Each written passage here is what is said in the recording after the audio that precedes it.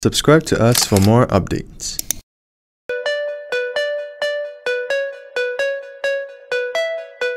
Here's how to create a 4 photos collage reel.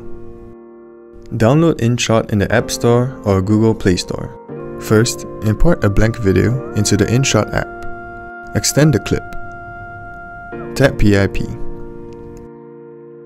Import the first photo.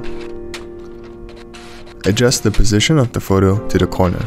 Import the other photos and adjust their positions accordingly. Decrease the duration of each photo so that they appear one after another.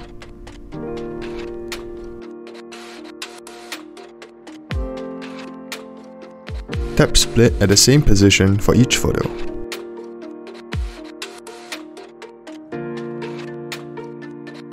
Select the clip before the split and tap filter. Choose a black and white filter that you prefer. Do this for each photo. And here's the final results. Don't forget to like and subscribe to InShot on our socials.